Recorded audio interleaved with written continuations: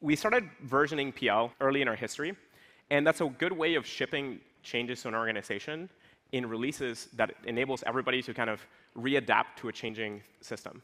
Uh, early on, when you're a much smaller group, you can ship changes really quickly. Um, it's easy to diffuse some new way of doing things, um, and then you can adapt. As you scale into larger and larger groups, especially if you work together with many other organizations and teams and people and so on, it can be extremely useful to adopt a release cadence like software. Uh, so that's why we've built our um, release schedule in a sense, and think and break it down into minor releases every quarter and major releases every year. So you know, today we're in uh, 2022, we're in PLV8. Uh, and we broadly encourage the network that whenever you're interacting with many other groups and shipping new programs and new releases, you try and, and bundle it across the quarter boundary or the yearly boundary and use that to kind of like reinfuse a lot, lot of new programs and so on. Now, of course, you should be shipping early and often, right? MVPs uh, ship when you need to, make the changes when you need to. Uh, but these quarter and yearly boundaries are great times to kind of advertise to everybody else, because uh, you can think of like the entire network shifting gears in those moments. Right? So imagine kind of a large-scale operation. If you try and change gears constantly, it can be difficult to do that well. So really lean on those kind of quarter and yearly boundaries to apply changes. Now, I want to tell you about some of the large changes that we started with um, from, you know, that, that we kind of brought us into this year. So in PLV7, the landscape of, of PL looked like this. We had a set of teams that interacted and worked with a lot of groups. We had a, um, a number of investments uh, across many different groups. And we also offered uh, lots of grants to many groups across the broader ecosystem um, and across many companies and so on. And so uh, one of the things that uh, shifted uh, very significantly from PLV7 to PLV8 was that we wanted to get rid of that kind of like cell wall boundary that prevented uh, our teams from working together across the network. And so we turned the network into this, PLV8. This was a slide that we showed um, last year. And we set off to build the Builders Network, the Talent Network, um, and to help support you know, the range of network teams um, and support them with a set of network services. At the time, we had you know, a set of uh, principles uh, to help us guide us into this shift. Things like scaling the network, investing in and empowering our growing ecosystem, and building upon existing teams. Um, so this is you know, helping teams sort of as, as they existed uh, grow into the network. We have a whole set of challenges and opportunities, um, and we tackled a ton of them uh, extremely well, and, um, and we've now sit in the, in the success of that. Now, as we shift into 2023, I want to tell you about the new sets of challenges and opportunities, the new principles, and um, what's going to shift. So uh, PLV8 was a very large change from PLV7 to PLV8. That was like a major shift. In PLV9, we are not going to have a very large uh, change at all. Uh, we're just going to double down on the successes and grow to um, add missing programs or things that we now know um, are really valuable. So we're going to be, uh, as a whole community, making adjustments and tweaks uh, to various systems and building out some new programs. Uh, so this is you know, one key um, slide and, and, key framing that I want everyone to take away is this model of saying, hey, there's the R&D pipeline, there's the innovation chasm there in that early part of R&D. Um, and what we're, we're going to do very well and be very successful if we can help more of those kind of very early stage research ideas translate all the way into successful companies. And so usually if you're doing something um, that is helping other groups and so on, find the spot of the pipeline that, you, that you're in. Could be that you are uh, supportive across the board, but if you can, if you're sort of, especially for one area, find the other sets of groups and teams that, that operate in that, that area and form common principles. Now, there's a set of new programs that we'll be um, uh, developing over, over next year. Uh, we hope to build a, you know, we, we, hope to grow our worldwide events and now finally have a proper calendar. This is one of the most requested features across the network, to actually have a calendar with dates and commit to them. Um, we uh, hope to also have role and domain specific events. So one of the things that we have started trying out is to create events very focused across specific disciplines or specific industries um, to help bring the people and connect there and build relationships. Uh, so that's some of the things we'll be doing. We're also uh, going to be uh, improving uh, a lot of the parts around starting new, uh, new systems. So one part of that is reaching out to many more communities to talk about the offerings and programs that we have.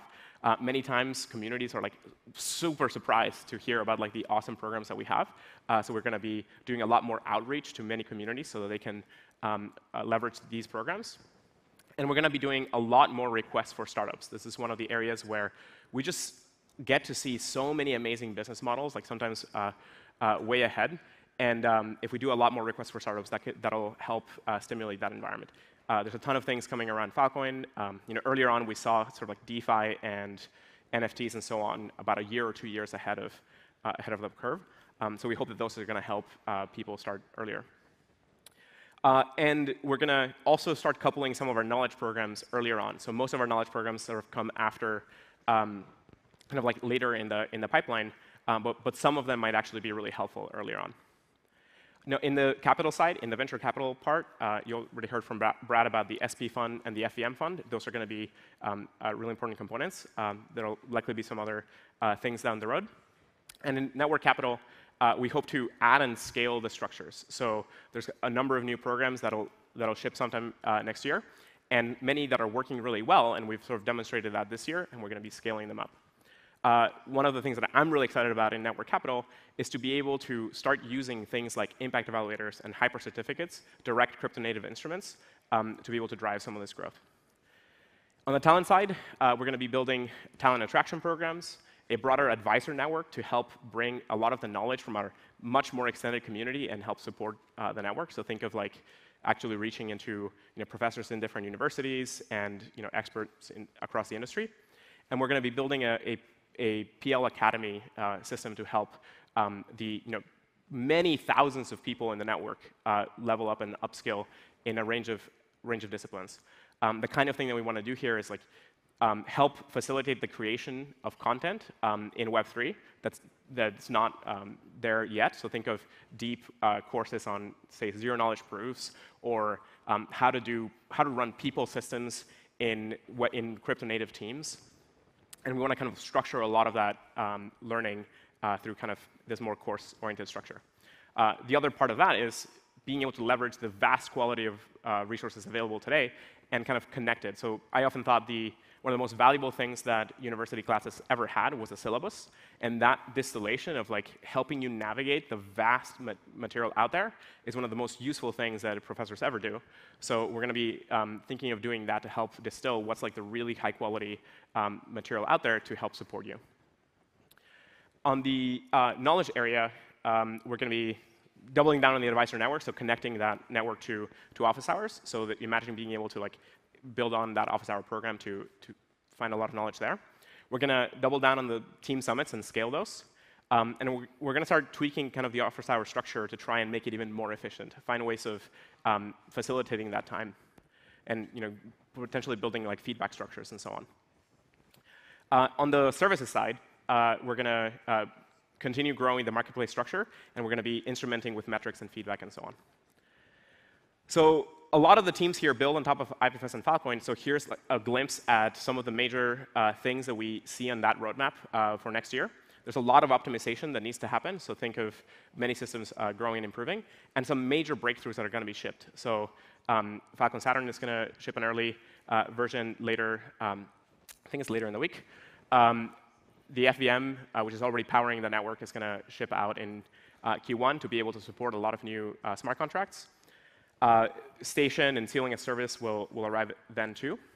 Then there will be a whole host of um, new networks that appear in, in the, as the FVM supports uh, L2. So think of a lot of uh, compute over data networks um, powered with Bacalhau, uh, or things like Medusa. Um, we also have a whole range of uh, improvements that are deeper, uh, things like interplanetary consensus arriving to help scale the entire network um, and things like Halo 2 and, and so on. Now, of course, this is like a, only a small snapshot of all of the amazing things that are going to happen uh, across the network. Uh, we don't yet have any kind of like integrated way of like seeing all of the roadmaps and so on. Uh, everyone kind of uh, builds, of course, their own natural uh, product offerings, uh, product offerings and roadmaps. So definitely encourage you to navigate the network and see what, what everyone's working on. Maybe next year we'll have like a way of like being able to navigate this space better. Now, I want to give some principles to the whole network uh, for next year. One is optimize and scale. So think of doubling down on what's working, change what's not. Uh, we have a lot of like really valuable systems and programs. Let's kind of grow them. Uh, think about how to optimize them well with impact metrics and feedback and so on. We, I see a lot of groups doing some extremely valuable work, but they're not really measuring what matters, or they're not getting feedback from the users. And if you're not getting feedback from your users, then you don't know like uh, how to how to orient the product. Um, we also need to um, ship many breakthroughs into production. So there's a lot of teams across the network that are building some extremely new, exciting things that need to land. So really focus on shipping that and, and driving usage. Uh, I also hope that most, so the second major principle is to focus on the end user product experience. Uh, a lot of teams have been building um, really amazing new technology, uh, but it doesn't yet have the extremely high quality product user experience that the broader world, you know, in Web 2 and mobile interfaces and so on expect. So you need to kind of instrument your products and optimize for extremely good product user experience. Find good ways of doing it in a, in a privacy-preserving way. Find good ways of doing it, doing it without sort of collecting um, personally identifiable information and so on. That's very possible. Uh, don't let decentralization or security get in the way of optimizing a good product, meaning find a way to have both. Um, now, that also applies to all of the programs to support the network. We need to instrument and get feedback um, across all of them to make sure that those programs are good products that everyone can benefit from. The third major principle is to strengthen the connectivity of the network. We want to deepen the relationships, um, a, you know, invest deeply in, in office hours uh, and kind of gathering in, in those team summits, uh, double down with events and so on, and I want to encourage all teams to work openly. So we've had major successes across the network uh, with many groups publishing all of their roadmaps, publishing all of their notes, publishing their um, uh, maps and so on. Uh, use you know, all hands and, and so on. Uh, that's extremely useful to help many teams across many parts of the network uh, work together. So think of leaning into that. Now for some challenges. So this is this has been a uh, very intense year. The macro environment has like totally plummeted. It's a very hard for a lot of companies. Um, and that macro environment also took down um, crypto. Now, uh, fundraising is already really hard this year, and it's going to be harder. My, my, guess is that it's likely going to be harder early next year. Uh, now, of course, you know, who knows? But um, the market could recover very quickly. But uh, my prediction and my, my expectation is that uh, it'll actually be quite hard and especially for the companies um, going from C to Series A or from Series A to Series B, like those will be like very hard jumps. Um, so kind of expect like a like a significant Series A crunch early in the year. Maybe the market will warm up, so maybe the latter part of the year will be fine, um, but don't count on it. Um, you know, really plan out your your map, your runway, and so on. And if you don't have a runway to last you into 2024, you should be thinking about how to make sure that your your team has a good, safe path um, into that. And of course, you want runway uh, much further out. Like ideally, you have many years of runway. Uh, but most small startups always have somewhere between six and, and 24 months of runway. So this time, it's going to be hard for all those groups. Uh, that means lean into the programs that we talked about today, all the capital fundraising uh, systems, and you know, come talk to us. We're here to help you think through this. Um, uh, all of this kind of stuff can be done much easier if you have time to plan. What is uh, highly recommend one of um, the default alive uh, default dead or default alive essay from, I think PG wrote this. It's an extremely useful um, uh, way of thinking about how your organization is operating. Um, you want to be, uh, you want to have enough runway to be able to um, make significant movements uh, to, to, to, fundraise. So you want to have always more than um, six to six to 12 months of runway.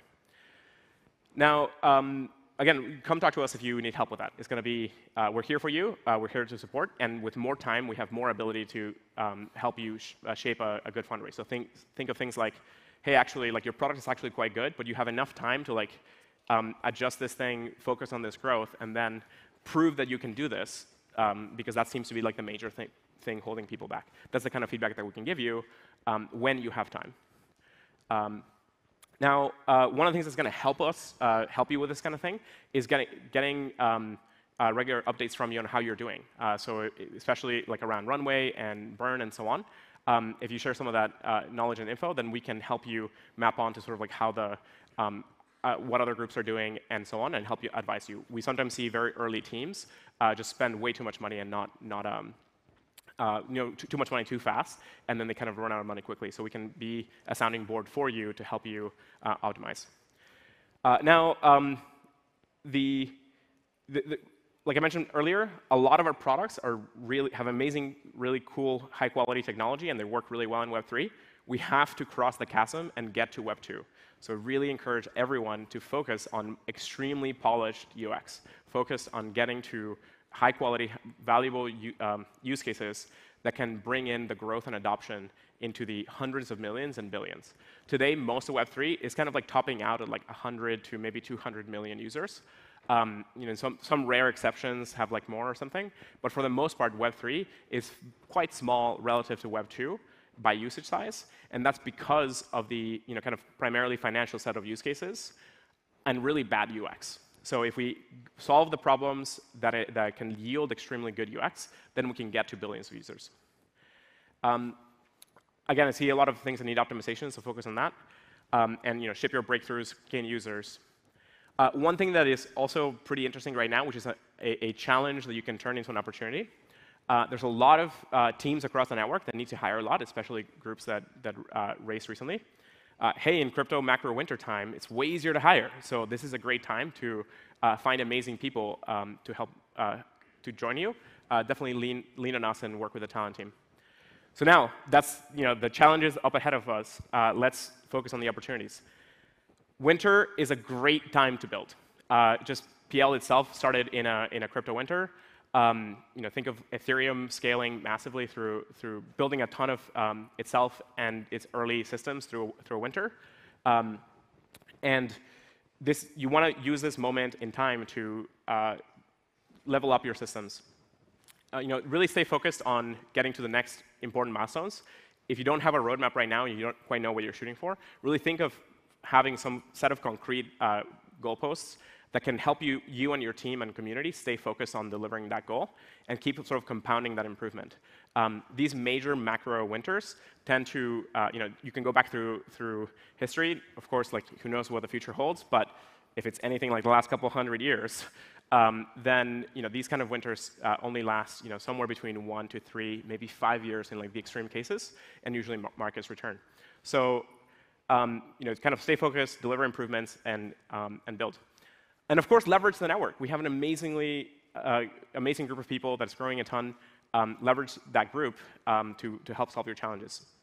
Now, there's a lot of products that are really working well, and at a lot of networks that, are, that are, um, have seen a lot of early success compound that growth. I've seen a lot of teams kind of start getting distracted with way too, mean, uh, too many feature sets, um, growth matters tremendously in these kinds of systems. Focus on the kinds of things that are going to give your operations and systems a lot of growth, because you can, if you do that, you'll, you'll end up with larger and larger groups that create and bring a lot more value. So because we're primarily building you know, large-scale products for large networks, that growth in users or that growth in participants ends up bringing a lot of value alongside with it. So in many cases, um, you know, some notable exceptions, but most um, very successful companies and groups in the last you know, 20 years have been extremely hyper-focused on growth um, and, and, use that to drive a lot of your, your decision making. Now, um, we have extremely strong teams across the network, and they're growing focus on their growth. So think about, um, you know, really encourage everybody here, no matter how early you are, to be thinking about the growth of the people in your organization. Think about leveling them up. Think about their career paths, their growth trajectories. Think about how to support them to, uh, to learn more. Um, the start, startups are a grind. Uh, they're really hard, and it's very easy to lose focus um, away from people's growth. You're kind of like constantly in this reactive, like immediate mode. It's very, very useful to have a good trajectory to know um, how to compound your, your own personal growth, because that's going to enable you to um, level up and, and have even more impact in the future. Uh, again, a whole host of opportunities will come from major breakthroughs like FVM, Saturn, and so on.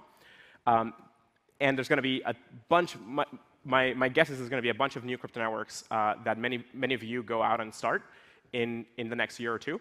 Uh, many computer over data networks, uh, CDN networks, and, and many more. So looking forward to a lot of like really awesome things there. Um, and uh, so that kind of sums up uh, PLV9. You know, really focus on these six offerings: build a network, help people start projects, help um, fundraise capital, help find amazing talent, and help it grow. Uh, help gather and systematize our knowledge, and help access world-class services. Let's remove that innovation chasm so that the pipeline can flow really well, and let's help every one of these organizations and companies um, level up and grow. Thank you so much.